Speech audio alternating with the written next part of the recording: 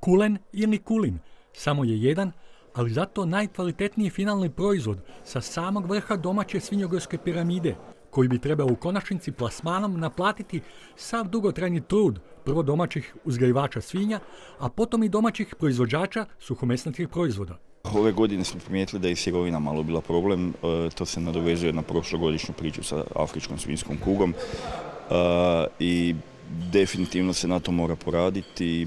Isto smo na ovom okruglom stolu iznijeli određene rješenja ili određene smjernice kako bi se trebalo uzgajati sirovina u Slavoniji. Dakle, s obzirom na klimatske promjene, s obzirom na genski potencijal, mislim da moramo uvoditi nekakve nove načine držanja, odnosno to su oni naši tradicionalni stari koje smo nekad imali i koje smo napustili. Dakle, govorimo o nekakvom e, poluintenzivnom e, držanju ili držanju na dubokoj stelji, čime se kroz takav sustav držanja dobiva i kvaliteta sirovine koja je onda preduvjet naravno za proizvodnju kvalitetnog kulena. Iako su stručna i proizvođačka mišljenja još uvijek podijeljena, profesor Mareta s Osječkog fakulteta agrobiotehničkih znanosti pozdravlja sve češću orijentaciju na uzgoj autohtone domaće crne svinje.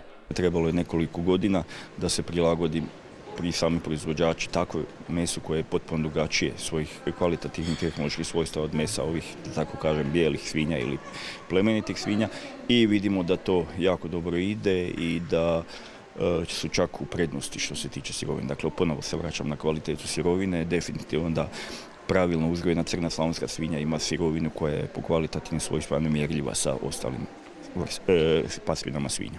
Prerađivači svinskog mesa, odnosno proizvođači suhomesnatih proizvoda, imali su tijekom 2023. ozbiljnih problema zbog nedostatka kvalitetne sirovine. S obzirom da je e, afrička svinjska kuga došla u ljeto kada su već svinje trebale biti u procesu proizvodnje i kada su, kada su bile u procesu proizvodnje i kada su one zbog afričke svinjske kuge bile eutanazirane, e, do, kulinara je ostalo bez te sirovine, dakle moralo se nalaziti neke druge načine, bilo je to možda malo mlađe svinje, malo e, meso koje je bilo mlađe, samim tim bilo i loše kvalitete, jer je dob jedan od ključnih čimbenika kad govorimo o kvaliteti mesa i od tih mladih svinja, od mlađeg mesa normalno ne možete dobiti jednako kvalitetnu e, kulen kao što ga dobijete od zrelih svinja. I to je ta jedna godina koja možemo reći da je prijelazna. Na pitanja može li se kada i kako očekivati konačni oporavak domaćeg svinjogojstva, profesor Mageta kaže. Da budem iskren, e, mislim da smo dosta šansi već propustili. Ne znam da li ćemo imati još jednu šansu. Svakako da nam je sve otvoreno, da je sve na nama.